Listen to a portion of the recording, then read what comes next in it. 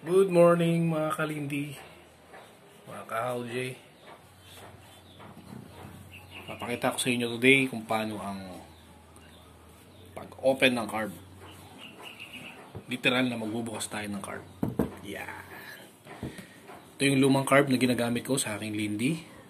Since na nagkaroon ako ng pinarts out na lindi, tinry ko kung gumagana yung carb ng pinarts out ko.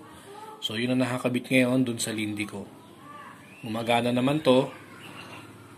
Tatanggalin natin para makita natin uh, yung loob niya. Ayan.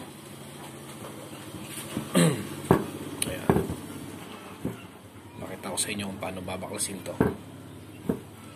Okay. so check muna natin yung ibabaw kung okay siya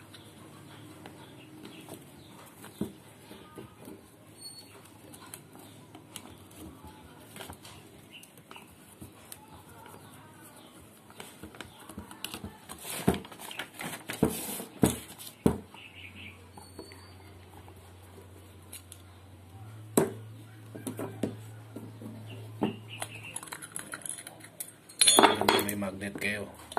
So yung mga maliliit na parts, paano meron kayong paglagyan. Yan, mayroon siyang spring. Check itong goma. Diaphragm niya. Okay naman, buo siya. Okay. So kung mag-a-adjust din kayo rito, nakita yung nasa loob. Ikutin nyo lang yan pa counterclockwise ng bagya para lumabas siya. May spring yan na maliit sa loob. Ingatan nyo, baka tumalsik. Tapos may washer na maliit yan. Pagbabalik niyan, hanapin nyo lang yung pwesto. Pipihitin nyo siya ng konti. Pa clockwise naman para muli humigpit siya. Yan. Ganyan siya.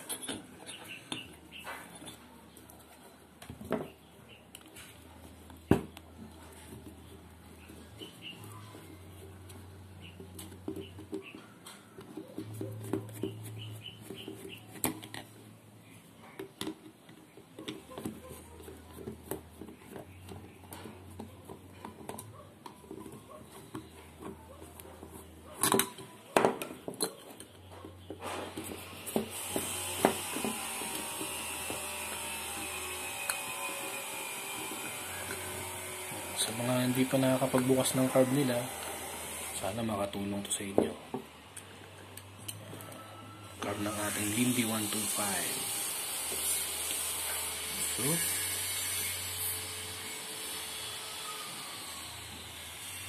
ayan. Tanyo, wala naman siyang bara. May nakikita kayong liwanag dun sa dulo, no? Yun, puti. Bubugaan nyo yan ng ah, hangin. Ito, ito, mga butas dyan. Ito. Yan. Lahat ng posibleng daanan ng hangin tsaka gasolina. Maganda.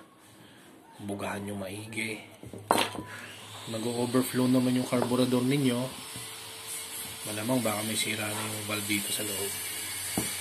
So, para tanggalin yan, tutulak nyo lang dito.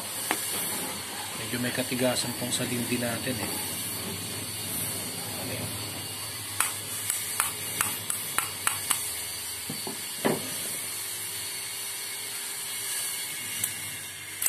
Yun. Natin yung loob nito. Yan. Kita nyo. Maganda pa naman siya yun.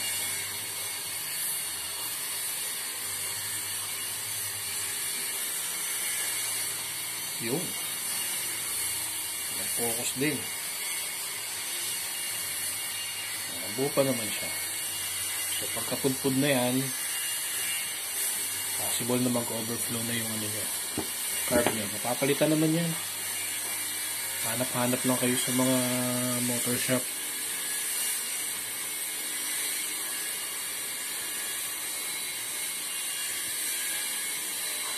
Sad to say, walang wala tayong repair kit.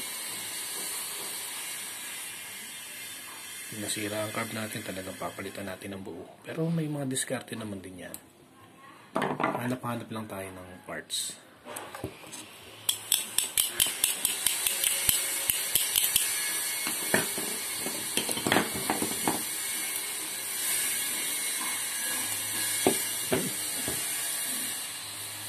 Level naman siya.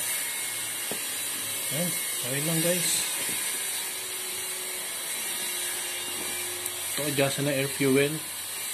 Kaya ako siya hindi na rin kinabit dahil nagkaroon siya ng crack. Ito yung ating uh, choke.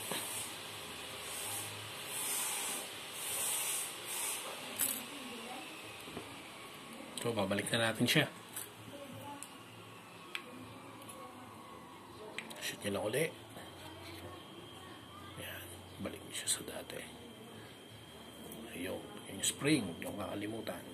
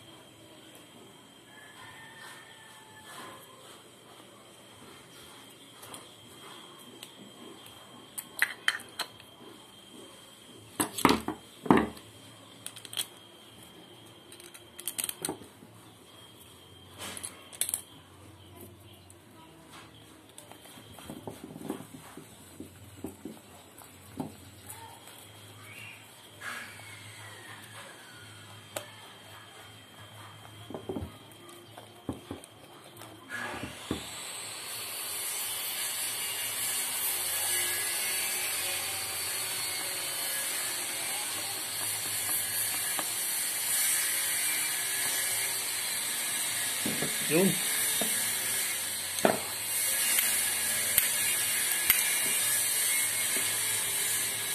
Ayan, kaya ako ito, kaya ako ito binuksan para makita kung gustong uh, bumili nito. Mamaya tatry ko siya dun sa lindi natin kung gumagana pa rin siya. Yan, nilagyan ko siya ng marka. Ayan. Para makita na ito yung luma. Yun, marka ko siya.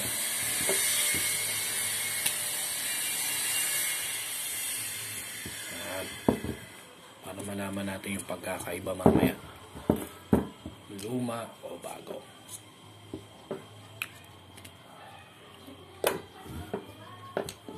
Okay, so dito na lang guys. Sana makatulong sa inyo na mayroon kayong preview kung anong laman o itsura ng ating carb sa loob. Bye-bye!